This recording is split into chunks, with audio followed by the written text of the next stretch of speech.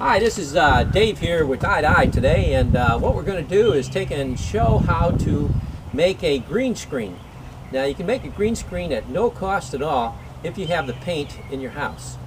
It's absolutely free if you have the paint just sitting around. But The paint has to be a specific color of green, just like we're showing here. And we're going to take and demonstrate uh, how this actually works when we take and finish this clip. We have found that any green that you may want to take and use for this will not work. It has to be the specific green that we have shown you earlier in this clip. Okay, now what we're planning on doing today is demonstrating with a sheet of drywall. I went to the local Lowe's here and purchased a sheet of drywall for uh, actually $10, less than $10, I think it was $9.89. And what we're going to do is take and show you how uh, just painting a sheet of drywall and using it as background will also work just as good as painting a wall. Okay, now here we are getting this uh, drywall painted and uh, I happen to have two different colors available in my garage. Uh, one is a darker color and the other one is a lighter color.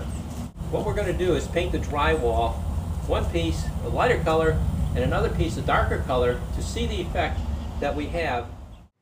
After painting the drywall the colors that we had in our garage, which were two different colors, a lighter color and a darker color, both of green, we found that both of them created different problems in doing a green screen recording.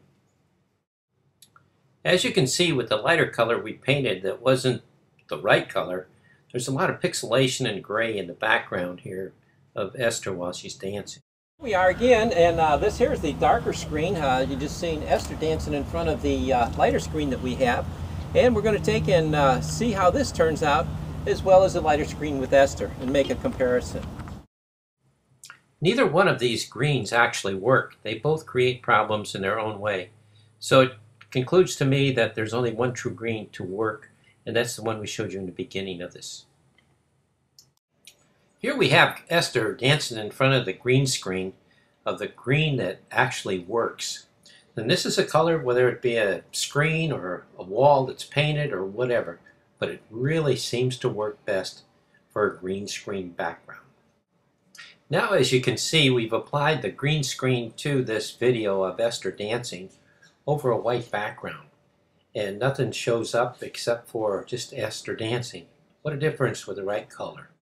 As you can see using the right color in the background we really get a lot of clarity in our green screen recording. The only thing to keep in mind when you're doing a green screen recording is that if you're wearing something green or something that's going to affect the green screen um, you may lose color in it.